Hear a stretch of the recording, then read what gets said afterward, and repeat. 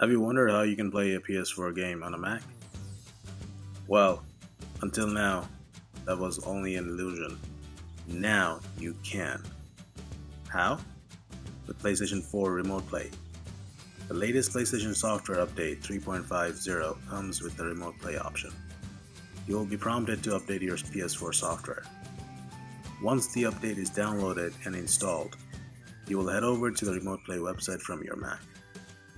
The website link will be in the description below. From there, you will download the Mac version.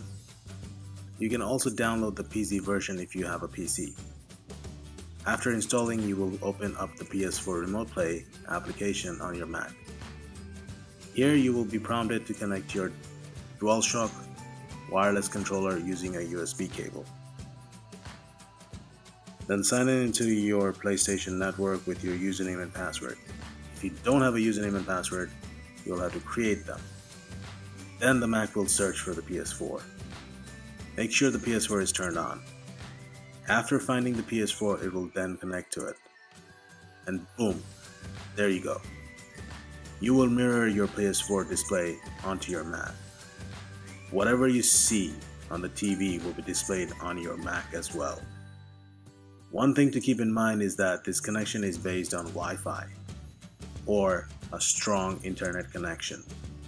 The stronger your Wi Fi or your internet connection, the better the quality of your gameplay. My Wi Fi is not that strong here, hence, I was not getting a smooth experience. I loaded up Assassin's Creed, and as you can see, the quality is not up to the mark. But that doesn't mean that you will have a bad experience. You can also connect via a wired internet connection and will need at least 5 megabytes per second of upload and download speeds for a good performance.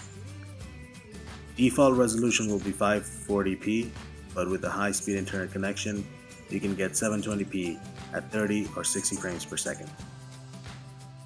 On a PC, Windows 8.1 or Windows 10 is supported operating system, and on a Mac, the supported operating system is Yosemite or El Capitan.